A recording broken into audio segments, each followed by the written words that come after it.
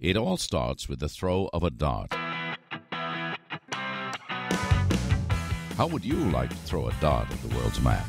Go wherever it lands, then while at it, raise money and help start a movement that changes people's lives. That's exactly what Soren Mihailovich and Matt Cook did this past Christmas.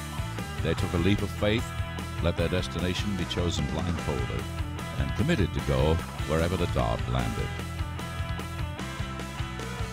When we first threw that dart, we had no idea where it was going to land. I said you guys were crazy. It's crazy. Crazy. Crazy. Crazy guys. Very brave. Cool, cool. Really adventurous. But you're also awesome for doing it. Just miles away from the North Pole on a tiny archipelago called Svalbard, which accommodates just about 2,000 people and 3,000 polar bears. It's very exciting. Uh, they could have ended up anywhere. In the winter, it is pitch dark 24 hours a day, reaching temperatures below 40 in the midst of a frozen ocean. The two Canadians had three weeks to spend there. It turned out to be the best expedition one could ever imagine. Since the budget for this trip was, well, zero dollars, and the timeline was four short weeks, Matt and Soren had to make it happen. We're pretty good at what we're doing, and this adventure is just starting. They had not only to raise the money to get there, but create a good enough cause that would leave a mark on Svalbard. We'll let them tell you the story, but let's just say it involves the creation of an international campaign called Polar Faith. A professional videographer to shoot commercials for the sponsors, which they got. Thank you all the way from the North Pole. Capturing of national media attention, securing of companies like Canada Goose and Silver Jeans to provide them the gear, and raising some money for the World Wildlife Fund for the protection of the polar bears. Not to mention that they had also raised the profile of the archipelago. I heard a story and, and saw the film, and I, I thought that was a, just a, a great thing to do. We hope you enjoy their adventure as much as I did. Let's see how the first of the Travel by Dart episodes went. We have partnered with Svalbard Tourism to make this documentary film and to spread the word about how amazing Svalbard is. Lucky for us, they, they came up here, and uh, we got to, to show them what we are proud of up here.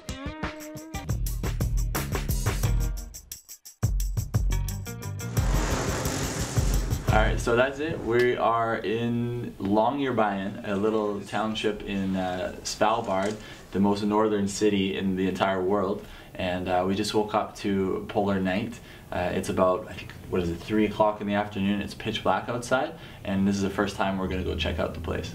The city itself, it's only about a few hundred meters, and uh, there's one little street, and uh, we're gonna check the whole city in like 45 minutes, maybe. There's a thunder racer rain counting down. Honey, your absence leaves a deafening sound. Black The longer you're here, the better things are going to be in terms of strangeness. I thought I'd be. They very much have, you know, kind of that, you know, independent spirit of wandering and adventure and all that. You see it in a lot of people who want to try projects here. A wonderful way to start a relationship between Svalbard and Canada. There's a lot of good things that can come out of it. It's, it's, the, it's the landscape, I think, and the wildlife. It's, um, uh, it, it does something to you. It's, uh, it's just magic, actually. You get this uh, polar bug inside your body, and it uh, stays there forever. And I've been here now for more than 17 years, and I still have this um, feeling when the light is coming back. I still have this uh, great experiences every time I go outside. Okay, we're at the Global Seed Vault, and Global Seed Vault is Matthew. What is it? oh, what is it? Okay, We have this, you know, global seed vault, which, you know, should be kind of this crowning jewel of, you know, scientific and, you know, community achievement. and this costed $45 million to build, all paid by the Norwegian government. and it's supposed to be a food source when, uh, you know, there's some catastrophic thing. And there's some huge calamity, they come here to get all the unmodified, ungenetically seeds and they plant the new crops for the new world. And instead what we have is, you know, people coming up here and shooting it with all these, you know, deep, you know, haunting, you know, overtone themes and, you know, are there evil scientific purposes, uh, you know, being done here in secret? Or, you know, movies will get filmed of how this, you know, Doomsday Vault, you know, has zombies and stuff running around in it. Let's go inside. There's like a video game that has the same theme. No luck.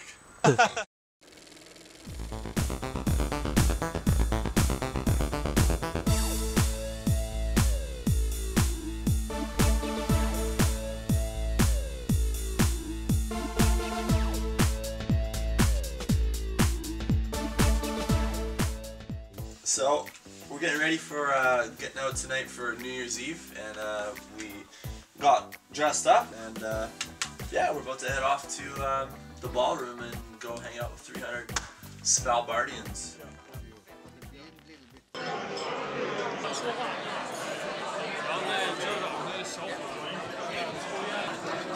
So this is raw beef, and uh, this is the first first of five courses at the New Year's Eve dinner.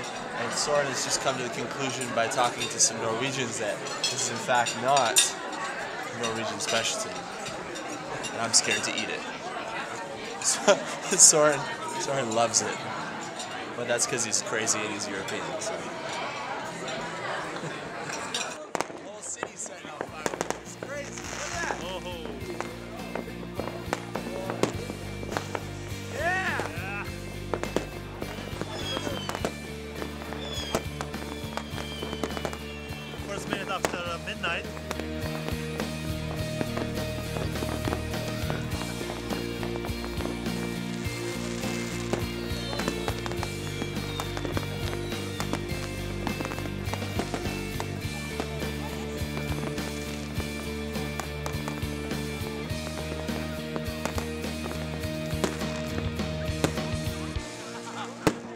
I'm feeling way better than I was yesterday, which is awesome.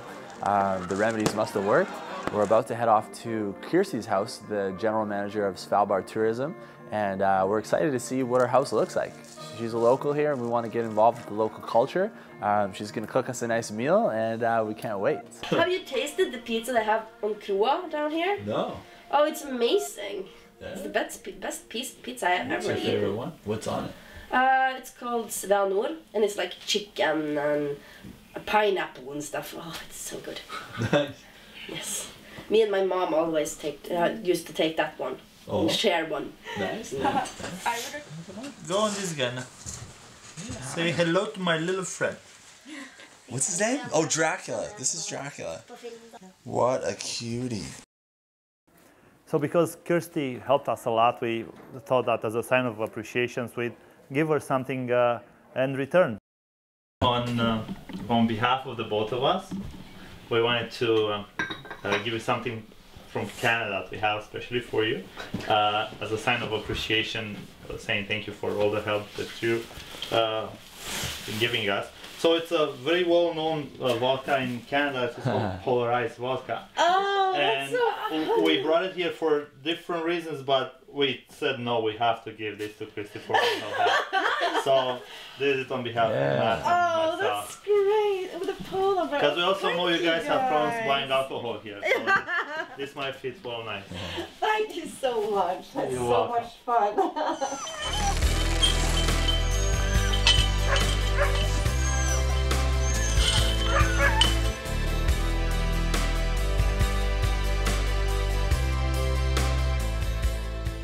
So today, I think for Soren and I was probably the most exciting day of the trip so far. I think it's something like day eight um, in on the trip. Um, we got the privilege of going down and spending the day with 52 of the most beautiful husky dogs I've ever seen. Um, Svalbard Tourism and Svalbard Husky put together an all-day dog sledding trip, and uh, we got to spend our time cruising through the polar night with um, these dogs. And these huskies are just amazing animals. And the dog, dog sledding trip itself, it's something that everybody they should experience in a lifetime.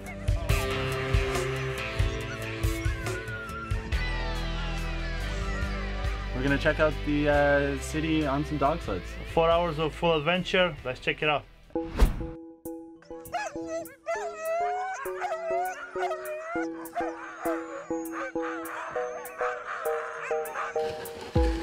Time to waste on the things that I don't have. A toss of the dark and we're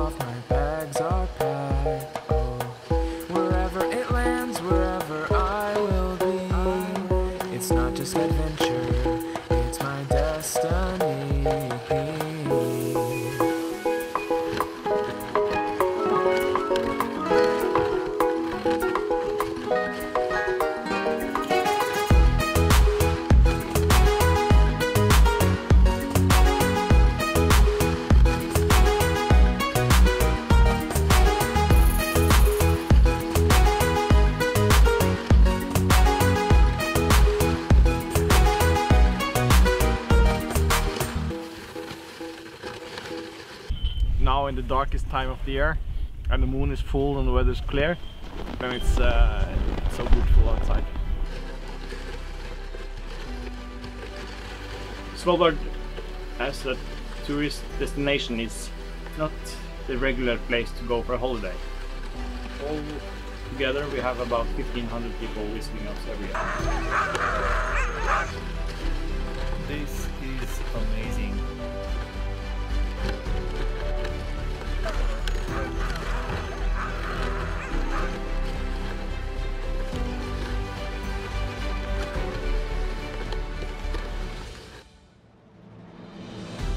On our way back, we're calm and tired, and all of a sudden our attention got caught by this uh, shocking scenery. There was another uh, dog camp, and uh, outside of it, there were quite a few dead uh, seals that were hanged by, by the owners in front of the dog camp as bait for polar bears in order to avoid the dogs being eaten first. Was, uh, was a little bit of a eerie uh, scenery, so we got out of there quick.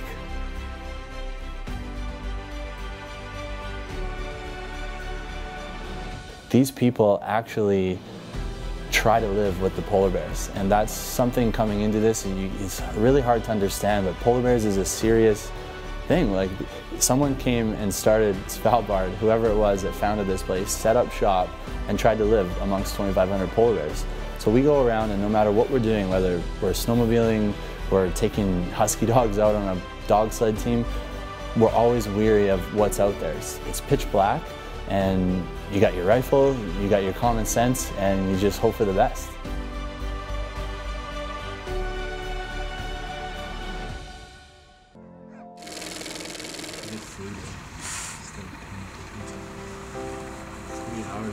Nobody dies in Svalbard and nobody is born in Svalbard, so that's a very interesting thing. People cannot be buried here uh, because of the permafrost, and uh, if somebody gets really, really sick, he is transported uh, to the mainland in, uh, in Norway. Same with giving birth. Uh, every woman who is, almost gives birth is taken to the mainland. So we're about to check out the largest wine cellar in all of Scandinavia. How many bottles are there? I think uh, 26,000. We're at the uh, local called Huset, uh, which means the house.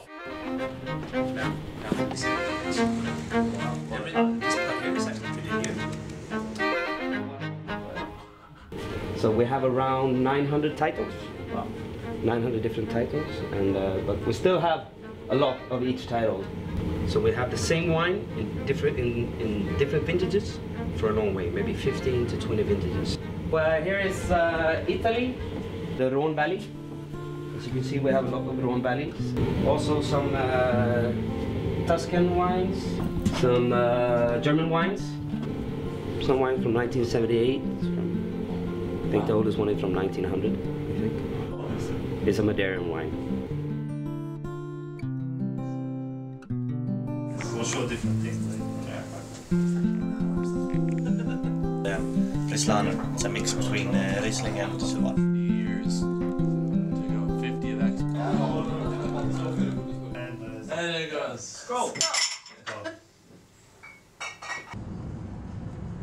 Since we have three more days in Svalbard, uh, we decided to take this to a whole different level. There's a tradition here that everybody should do a polar dip. A polar dip is basically a bath in the freezing waters of the Arctic.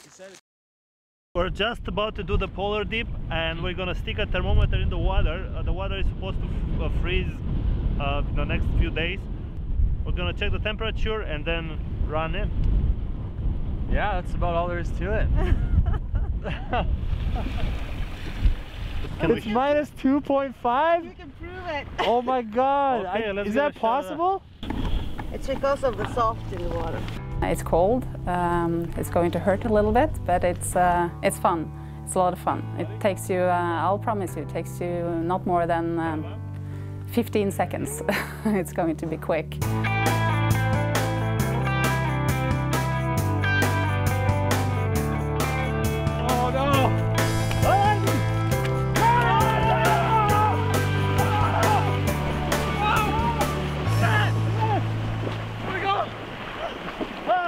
Most important thing, we received an ice swimming certificate um, from Spitsbergen Travel, and they were declaring us a real polar bear. Actually freezing to my body.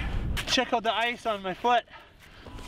So for the 45 second dip we did, we got a certificate. Well, that's it. To the sauna.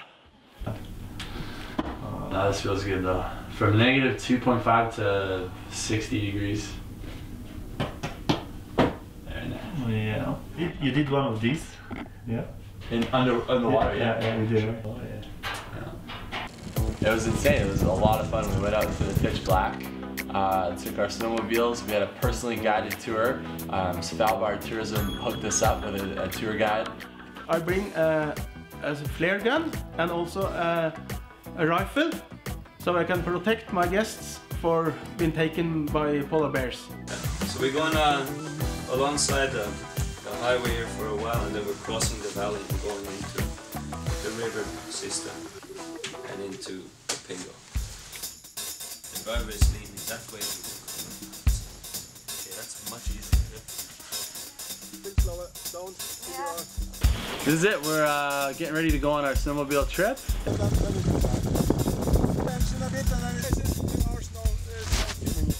Yeah, yeah. We heard it's gonna be a, a very good trip. Uh, uh, it seems like uh, we're gonna have some epic times for, for the next four or five hours.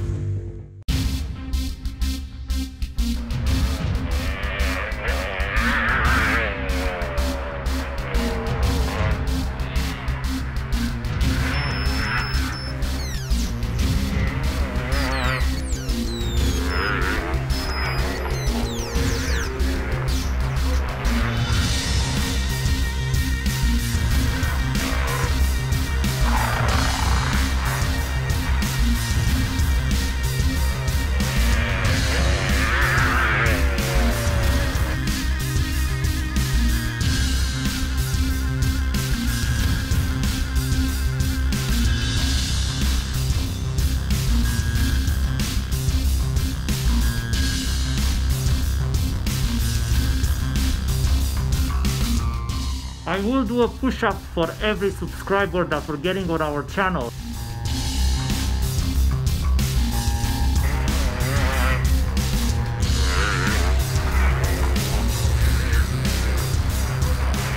How many? How many? And we can show what we have to, to show people up here in the dark period.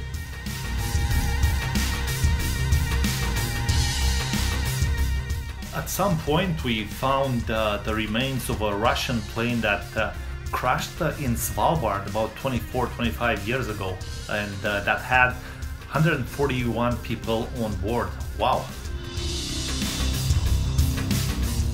What else did we see? Oh, the beds. Some people just left a couple of uh, a couple of iron beds right in the middle of nowhere, and instead of calling it garbage and cleaning it up, they actually declared it a landmark. Well, our dart hit the right spot. We made it.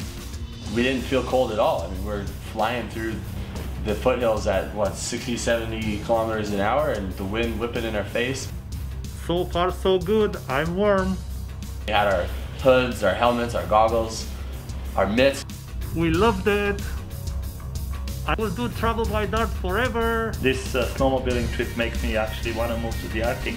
I want to do it every day. I can see why people love snowmobiles. It's so much fun. And we just want to say thank you to our guide, Vine. Best guide you can ask for. Awesome guy.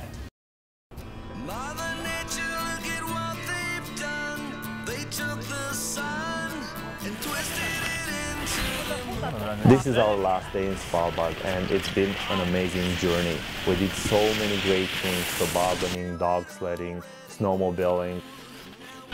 And we've met some of the coolest people and we've experienced some of the most amazing things in our lives and we can't wait to do it again.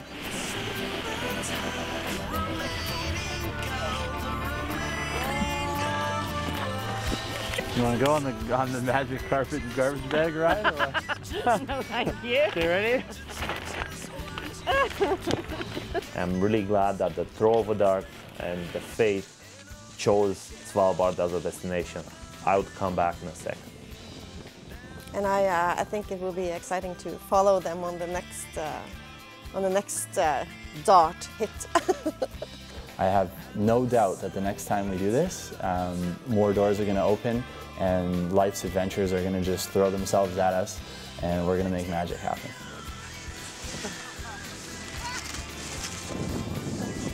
Uh, people up here, they are a little bit special. They are a little bit dreamers.